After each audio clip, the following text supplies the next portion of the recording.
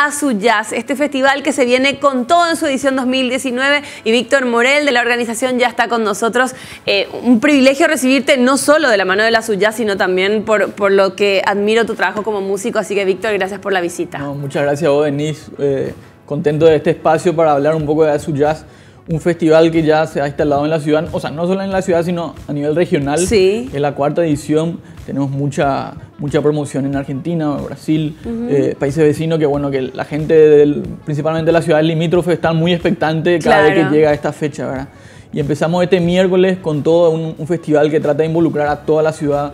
Va a haber eh, conciertos en el comedor nuevo del Mercado 4. Qué bueno. va a estar Juanjo Corbalán ahí presentando su propuesta de arpa paraguaya contemporánea. Eso, va a ser, ese va a ser el primer show de la Suyaz el este miércoles a las 11 de la mañana. Perfecto. En un, en un renovado comedor que está sumamente lindo.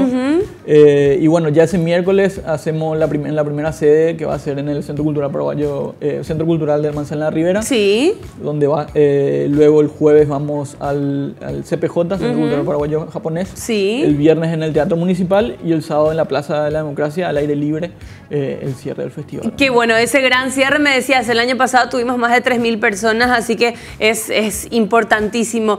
Pero eh, mencionábamos recién fuera de aire conversando, el jazz está presente en todos los géneros musicales y por ende este encuentro no es solo para aquellos cultores del, del jazz que, que, que, digamos, siguen ese jazz más puro, sino para todos los que amamos la música en general, Totalmente.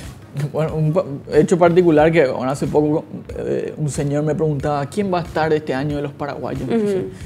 Y va a estar, le digo ya de entrada, va a estar Lisa Abogado y Pedro Martín. No, Lisa Abogado no es una cantante de jazz. Ella es una super cantante, pero no es de jazz. Sí. Pero justamente eso, eso, eso prejuicio, entre comillas, es lo que queremos tratar de romper. Son prejuicios. Y Lisa Abogado justamente va, a estar tocando eh, con un proyecto que es Pedro Martínez Trío, que está en un proyecto de los últimos cinco años muy importante. Suena hermoso, sí. Que ha renovado, ha, innovado en la música instrumental paraguaya y bueno, ya vienen tocando con años, años anteriores, entonces me pareció, no, nos pareció junto a Vicente, el director de cultura, que, era una propuesta sumamente interesante de, exponerla en un festival de jazz, que trata, de, como dijiste, trata de involucrar a todos los géneros posibles en los cuales el jazz eh, está inmerso, ¿verdad? Claro. Bueno, em, a ver, hablando justamente de los nacionales, mencionabas a Pedro Martínez Trío junto a Lisa Abogado, ¿quiénes más van a estar presentes? Bueno, e, ese miércoles va a estar también Gustavo Sánchez Hase, que es uno de los guitarristas representativos de, la escena del blues, es de Encarnación.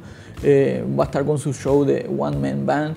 Eh, va a estar ese día eh, Felipe Dujar, que es un guitarrista chileno, que va a estar presentando su disco con una propuesta de jazz contemporáneo sumamente interesante.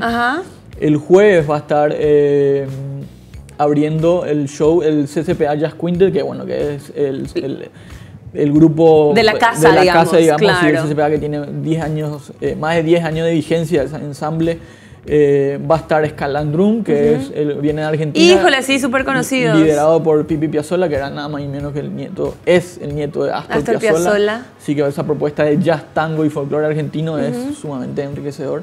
Y va cerrando esa fecha Tia Fuller, que es una de las principales saxofonistas eh, en la actualidad del jazz contemporáneo en, Nueva York, cerrando junto a su cuarteto.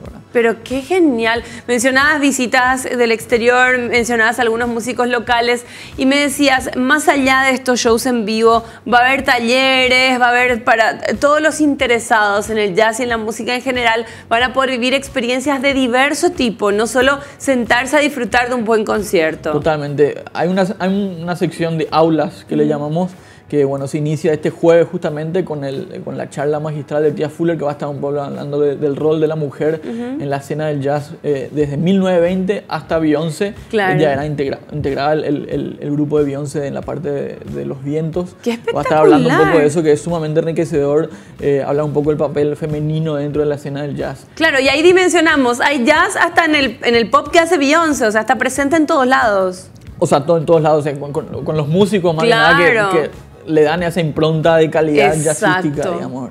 Eh, esa, esa, tarde a la una, eso va a ser, esa charla va a ser en el Teatro de la América del CCPA. A la una y media va a estar en la sala Odilio Alio Escalandrún, que va a estar un poco hablando del enfoque musical que ellos le dan a su, a su propuesta artística. Eh, va a estar Beto Arcos, tenemos una sección de periodistas que vienen del extranjero un poco a cubrir el festival. Beto Arcos es de la National Public Radio de, Estados Unidos y cubre, tiene una radio en Los Ángeles, va a venir de Los Ángeles y va a estar hablando un poco de periodismo musical, que es muy importante poder desarrollar eh, en nuestro país el aspecto de, crítica artística musical, ¿verdad? Eh, periodismo musical y podcasting. Va a estar Humphrey Incillo hablando un poco de, cómo comunicar tu proyecto musical eh, a, nivel periodístico. ¿verdad? Él le viene de, Argentina. Eh, bueno, tenemos eh, la charla también de la clase magistral de Julia Hulsman que se va a presentar el viernes 4 en el Teatro de la América. Se presenta con su trío esa noche. Eh, que van a estar también Paula Rodríguez y la banda de las chicas, que es una banda exclusivamente formada de ¡Qué chicas. genial! Va a estar la orquesta, el cuarteto de folclore fusión de la Orquesta Sinfónica Nacional también abriendo esa noche. Y bueno, Julia Guzmán haciendo una masterclass del arte del jazz trío que le denominamos el sábado en el Instituto Cultural Paraguayo Alemán. Todas estas masterclasses tienen un costo, son gratuitas y sobre todo, ¿dónde podemos ingresar para ver qué día y a qué hora y, repasar todas estas masterclasses que nos fuiste mencionando? todas las clases son, todas las actividades de Azuyá son libres y gratuitas ya sean las clases, eh, las charlas, eh, los, propios conciertos, sí, totalmente.